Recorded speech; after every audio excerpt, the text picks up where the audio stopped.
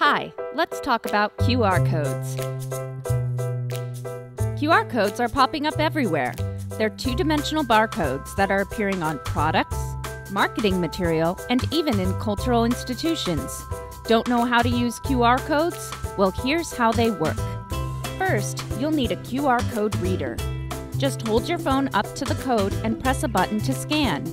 Targeted content then instantly appears on your device.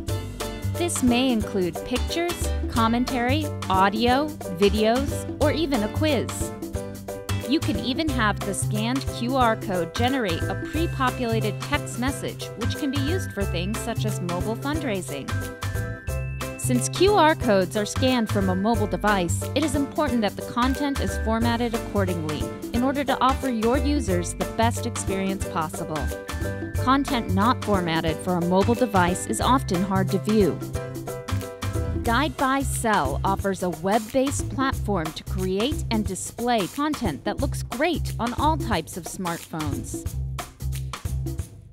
For more information on our services, including mobile websites, mobile fundraising, and how your organization can use QR codes, contact us today. Guide by Cell. We make you mobile.